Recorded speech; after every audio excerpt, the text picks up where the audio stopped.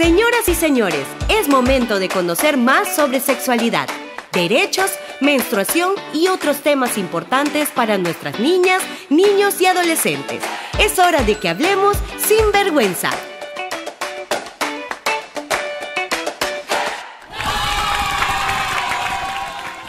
Muy buenos días con todas y todos, sean bienvenidas y bienvenidos a un nuevo episodio del microprograma Hablemos sin vergüenza que llega gracias a Plan International y Cotex. Mi nombre es Alejandra y es un placer volver a estar con ustedes un nuevo día a través de este programa en donde aprendemos de la mano con las y los mejores especialistas en temas como sexualidad, menstruación y muchos más. Ustedes saben que en este programa le hacemos honores a nuestro nombre Hablemos sin vergüenza porque efectivamente conversamos sobre temas que podrían considerarse tabú pero que deben dejar de serlo para que las niñas, niños, adolescentes y jóvenes crezcan conociendo sus derechos, respetando sus cuerpos y se sientan con más confianza y seguridad. Dicho esto, les quiero presentar el tema del día.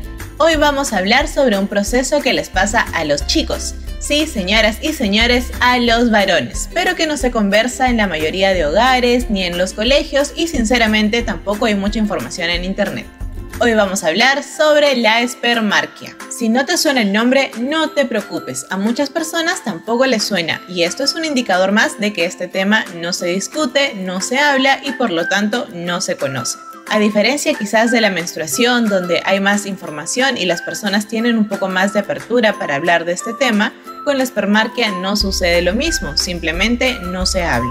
Ahora seguro ustedes estarán preguntando qué es la espermarquia. Bueno, la espermarquia es el nombre con el que se le conoce al proceso natural en los varones que origina la primera producción de espermatozoides. La espermarquia en los chicos es el equivalente a la primera menstruación en las chicas, es decir, ambos procesos marcan un hito en el desarrollo de las y los adolescentes porque esto indica que ya están en la pubertad y que poco a poco irán produciéndose más cambios. Al ser un tema muy poco conocido, las primeras experiencias suelen hablarse con los amigos. No obstante, los chicos requieren de una persona adulta que les guíe y oriente. Por este motivo, hoy vamos a conocer más sobre la espermarquia. Vamos a iniciar nuestro bloque de entrevistas junto a un especialista que nos ayudará a entender sobre este tema. Su nombre es Víctor Vázquez Maza. Él es psicoterapeuta y docente principal del Instituto de Educación y Salud CPSEX. Bienvenido al programa, Víctor, ¿cómo estás? Buenos días Alejandra y buenos días a la audiencia que nos escucha. Gracias por extenderme la invitación para participar en el microprograma Hablemos sin vergüenza. Es todo un honor tenerte en el programa de hoy para que nos hables sobre los cambios físicos que se dan en los varones durante la pubertad, especialmente por un proceso que no muchos conocerán, pero es muy normal y a los varones les sucede cuando van creciendo. Me refiero a la espermarquia, un término que quizás no hemos escuchado nunca, pero que definitivamente está presente en la vida de ellos durante la pubertad. Víctor, ¿podrías explicarnos un poquito qué es la espermarquia? Bueno, eh, verdaderamente lo referido a la sexualidad aún es considerado un tabú para muchas personas en nuestro país. Por eso no es novedad que se desconozca la palabra espermarquia, a pesar de que es un proceso natural por el cual todos los hombres pasamos durante la pubertad. La espermarquia se le conoce como la primera producción de espermatozoides, que generalmente nadie nota porque se expulsa a través de la orina. Este proceso es muy distinto a la primera eyaculación. La primera eyaculación suele aparecer meses después de la espermarquia. ¿Y este proceso denominado espermarquia es normal en los varones? Claro que sí.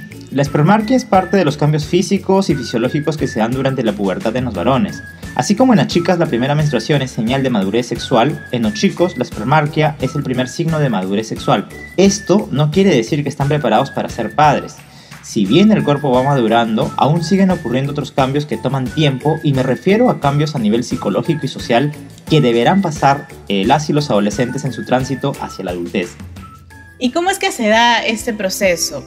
Es decir, ¿cómo pueden saber los padres y madres que su hijo probablemente está experimentando este cambio? No hay una única señal para saber que los chicos están pasando por la pubertad. Existen varios signos que nos indican que están creciendo, como el ensanchamiento de espalda, la aparición del acné, el crecimiento del vello, el agrandamiento de los genitales, entre otros.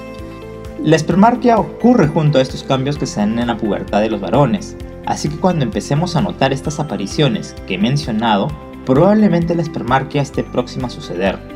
Todos los cambios están relacionados y siempre es bueno comentarles a los chicos lo que les sucederá para que se encuentren preparados e informados y no genere ningún miedo o vergüenza. ¿Y en qué momento ocurre la espermarquia? Es decir, ¿existe una edad específica para que suceda? Eh, bueno, como todos los cambios que se dan en la pubertad, no existe una edad fija en la que aparece la espermarquia. La edad puede variar entre los 10 y los 16 años, aunque su aparición suele ser más frecuente entre los 12 y los 14 años. Recordemos que cada cuerpo es muy distinto, por lo tanto el ritmo de crecimiento también. ¿Y consideras que la espermarquia debe ser un tema de conversación que los padres y madres deben tener con los hijos? Totalmente. En verdad lo recomendable es que se converse con los chicos sobre todos los cambios que les van a ocurrir en la pubertad para que no se sorprendan o se sientan confundidos. De pronto un chico se levanta y siente que su voz ha cambiado, que tiene acné y no entiende por qué.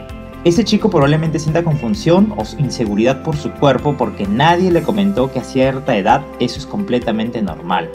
Lo mismo pasa con la espermarquia, si bien no es un proceso que sea muy visible, la primera eyaculación sí lo es, y muchos chicos no conocen sobre este tema. Por eso se recomienda que los papás y las mamás puedan ir conversando con sus hijos sobre los cambios en su cuerpo. Claro, por ejemplo, la primera menstruación en el caso de las chicas sí es bastante obvia, ya que implica la aparición de flujo de sangre. Sin embargo, la espermarquia no es tan visible porque, como lo señalaste, la primera producción de espermatozoides se expulsa mediante la orina. No obstante, me gustaría preguntarte por la primera eyaculación. ¿Qué relación tiene con la espermarquia? La primera eyaculación en los varones ocurre meses después de la espermarquia. La eyaculación sucede cuando se expulsa de manera involuntaria el flujo de semen debido a las poluciones nocturnas o los famosos sueños húmedos. A diferencia de la espermarquia, la primera eyaculación sí es notoria. La podemos observar porque de repente un día el chico se levanta y encuentra su ropa interior y sus sábanas mojadas. Víctor, y tú como psicólogo especialista en este tema, debes saber que alrededor de las poluciones nocturnas o los famosos sueños húmedos existen muchos tabúes. Los madres, padres y en general las personas adultas no quieren hablar sobre este tema, lo ven como algo malo que debe hablarse solo entre personas adultas. ¿Realmente los sueños húmedos es algo tan malo? Los sueños húmedos o poluciones nocturnas son completamente normales. No hay que alarmarse cuando ocurra, porque sucede de manera involuntaria. El cuerpo está produciendo más testosterona, lo que favorece ese hecho. Además, no se pueden controlar ni evitar. Así como la menstruación es muy común en las mujeres y debe hablarse con ellas antes de que les ocurra, las poluciones nocturnas son completamente normales en los varones. No hay nada de malo en ello. Entiendo que para muchas personas adultas este puede ser un tema difícil y vergonzoso, pero es parte de nuestro crecimiento humano.